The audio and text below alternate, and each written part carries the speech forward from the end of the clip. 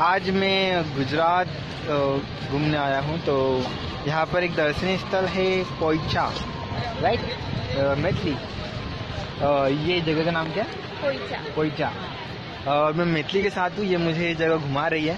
और रियली बहुत अच्छा है व्यू आप देखिए बहुत अमेजिंग है। और आपको भी अच्छा लगेगा अगर आप गुजरात आए हो तो ये अंकलेश्वर के पास पड़ता है। वो बहुत ही अच्छे से बना हुआ है। और मैं आपको पूरा अंदर का नज़ारा दिखाऊँगा तो आप इस वीडियो को पूरा देखिए और सब्सक्राइब करिए।